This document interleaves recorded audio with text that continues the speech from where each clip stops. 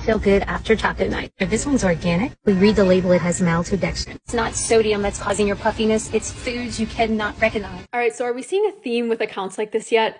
So they all claim to have started learning how to read ingredient labels, which is ironic because half the time they're just pointing at ingredients and saying that they don't know what it is and they don't know how to pronounce it.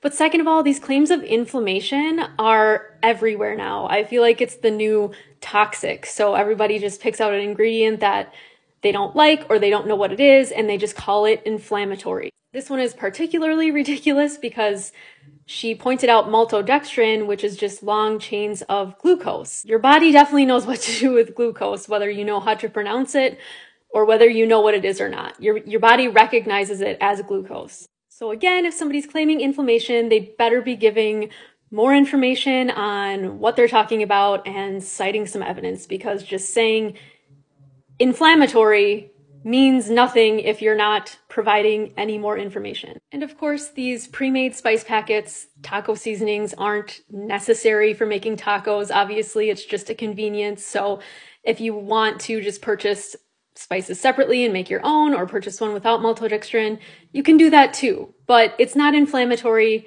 and just because you don't know what it is doesn't mean your body doesn't know what to do with it. Also, there's a very small amount of maltodextrin in this, and you're adding an entire packet of that to like probably a pound of ground meat, and then that's making up multiple servings of tacos, which by the way are typically in a tortilla, which is carbohydrates. So the amount of carbohydrate that that maltodextrin in that seasoning is adding to your entire meal is negligible and just the whole thing is ridiculous.